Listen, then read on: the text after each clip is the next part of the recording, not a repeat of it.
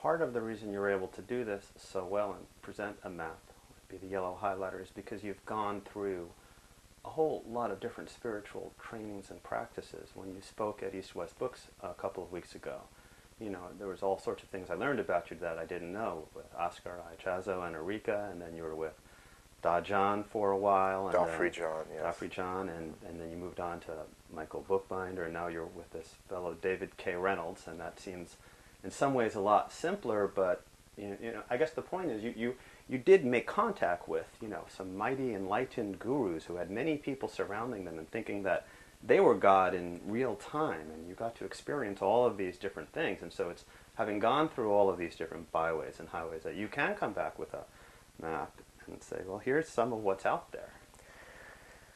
Yes, and in this world of pop spirituality, we wonder the various people who write books. Did they just read about? Uh, did they read a few other books and then synthesize the information and then start talking about it themselves? I know some teachers who do just that. But I have had many years, uh, 30 years of some intense seeking, really 35, 40 years of intense seeking. Uh, and as I mentioned in the talk that I gave the other day, I went into some depth about the levels and the kinds of experiences I had from spiritual techniques and practices. A global heritage uh, of practices, quite sophisticated and in depth. And I found, well, with each teacher, I reached a certain phase of disillusion. Now, disillusion, of course, I mean freeing from illusions, freeing from the hope that this is going to do it. Uh, and I often use the analogy of, of Charlie Brown in the Peanuts cartoon where Lucy says, I'll hold the football for you this time, Charlie Brown. You can kick it. And she pulls it out of the way.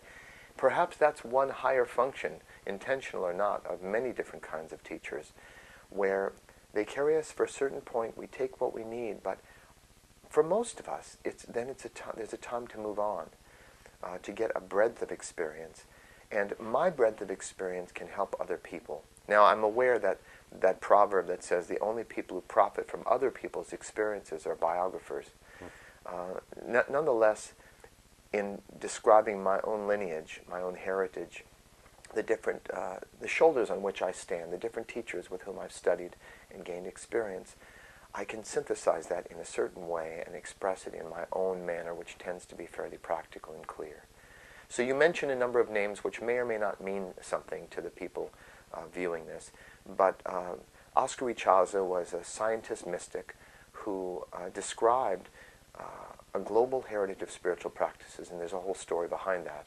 And that was one phase of my life. Then I spent 10 years studying with someone uh, acknowledged at, during a particular time by Ken Wilber, Alan Watts, and others uh, as one of the great spiritual heroes and adepts and masters.